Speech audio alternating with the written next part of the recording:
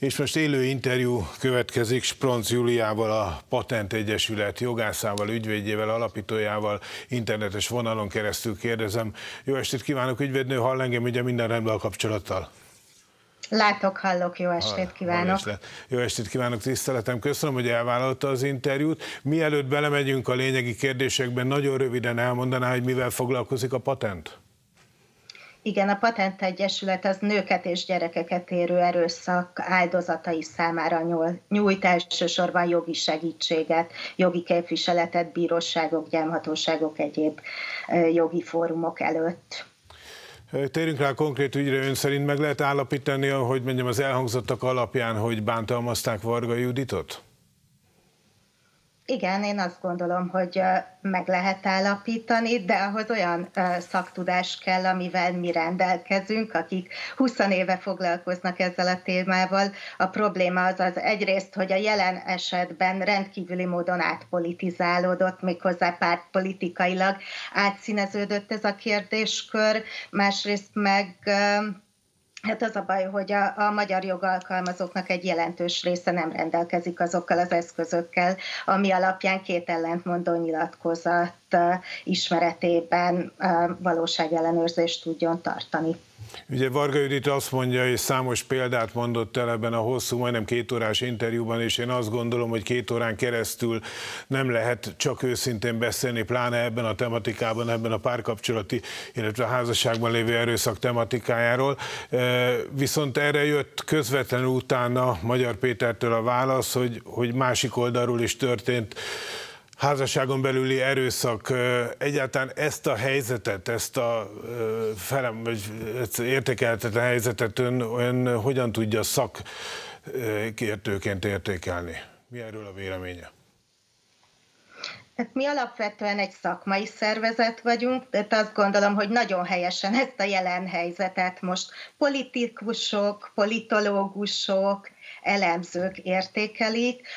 Párkapcsolati erőszak oldalról szakemberként azt gondolom, hogy a legbölcsebb, amit tehetünk, hogy távol tartjuk magunkat, hiszen ha bármelyik oldalon állást foglalunk konkrétan, akkor elidegenítjük a másik politikai tábor, tehát ez most már olyan szinten vált így a, a, egy hit vitává, hogy, hogy valójában nem gondolom, hogy azzal akár a párkapcsolati erőszak ügye, akár a mi ügyfeleink nyernének bármit is, ha mi most ezen a politikai palettán megjelennénk ezen vagy azon az oldalon. Azt tudom mondani, hogy mi, mint jogvédő szervezet természetesen állunk rendelkezésre, és nyújtjuk a szolgáltatásainkat bármely áldozat irányába, akármit is csinál a privát szakmai vagy politikai életében.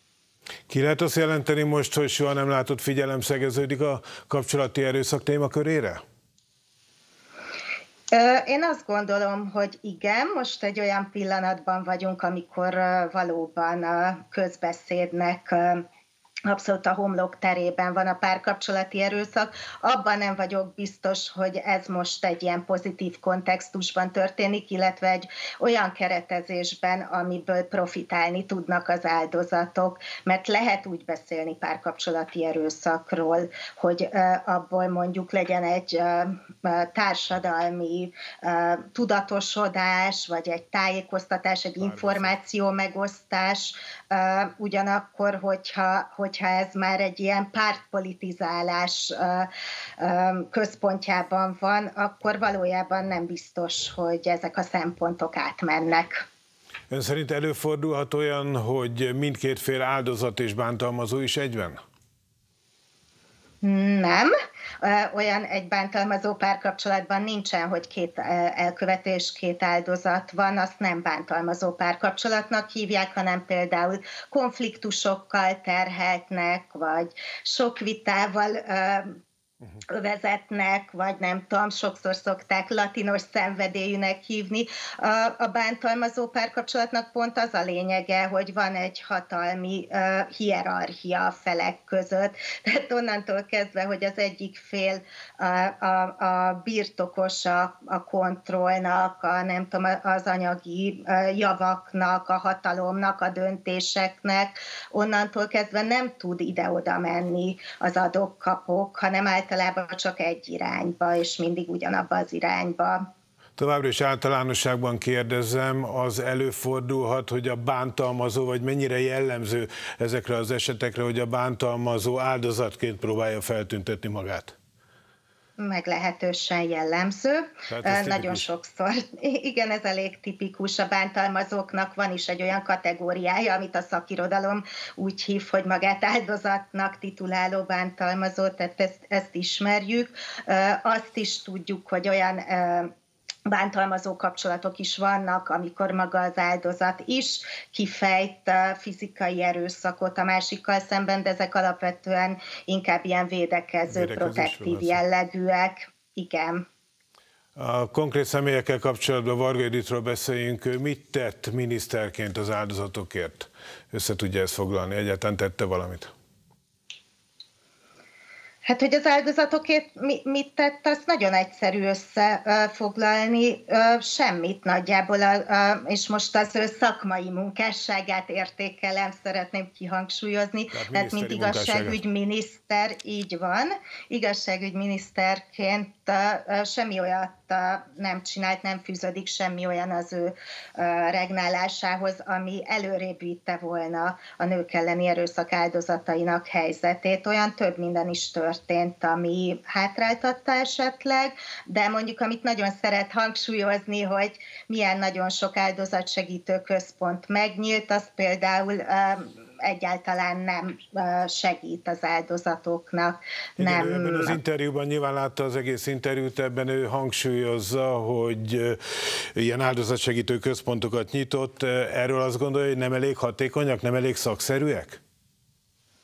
Az áldozatsegítő központokról nem én gondolok bármit is, hanem pontosan lehet tudni, hogyha valaki mondjuk bemegy, vagy egyáltalán a honlapját megnézi ezeknek az intézményeknek, ez nem nőket érő erőszak sértetjei számára van maga az intézmény, hanem bármilyen bűncselekménynek az áldozatait hivatott ellátni. Tehát hajlamos ezt úgy keretezni, mint hogyha ez, ez egy olyan intézmény lenne, ami kifejezetten ezt a fajta fajta erőszakot hivatott lenne megcélozni, de ez egy általános áldozatvédelmi intézményrendszer, amiben nincsen specializált kezelés ezeknek a speciális csoportoknak. Tehát azt mondja, hogy ott nincsenek megfelelő szakemberek arra, akik felkészültek lennének a kapcsolaton belüli vagy a házasságon belüli erőszak tematikájának az értékelésében, tehát a nőknek a segítségét nem tudják megadni kellőképpen?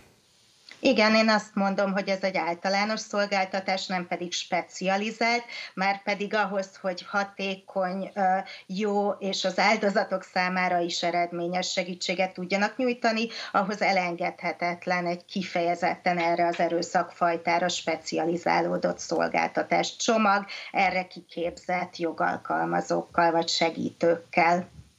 Ön szerint mi nyújthatna átfogó teljes segítséget a nők elleni erőszak áldozatainak. Mi erről a véleménye?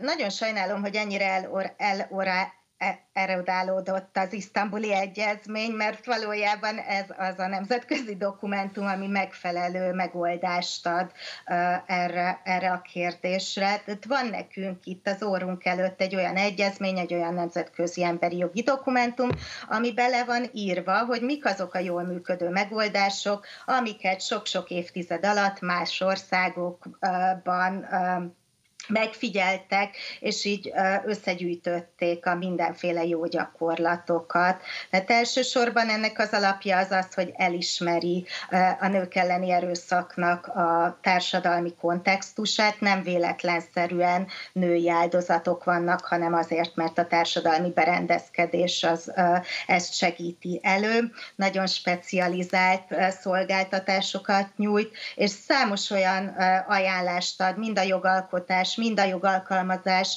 a megelőzés, a képzés, az oktatás területén, amik előirányozzák azt az irányt, hogy mik azok az intézkedések, amit nyújtani kell. Ezeket Magyarország nem teljesítette mind a mai napig, bármilyen ellenkező kommunikáció ellenére ez ténykérdés. Varga Judit az interjúban, hogy az isztambuli egyezmény ratifikálása azért maradt el, mert egyéb olyan politikai szempontok voltak benne, amivel a kormány, illetve ő, mint igaz igazságügyminiszter nem értett egyet, de egyebek mellett a magyar jogrendszer, meg a magyar segítői hálózat teljesen alkalmas arra, hogy az isztambuli egyezmény nőkre vonatkozó részét be tudják tartani. Akkor ezen szerint nem igaz, és nem így van.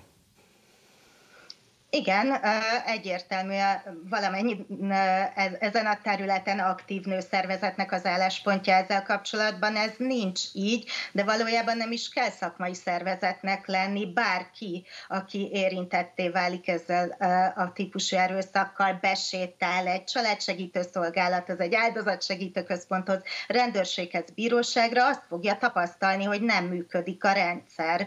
Tehát valójában nem most mondta ezt az interjújában Varga Judit, hanem úgy 2018-19 óta ezeket folyamatosan mondja, mi pedig mondjuk azóta, hogy ez nem mhm. így van, és számos olyan konkrét javaslatunk van, aminek a megvalósítása közelebb vinne ahhoz, hogy valóban hatékony segítséget kapjanak az áldozatok.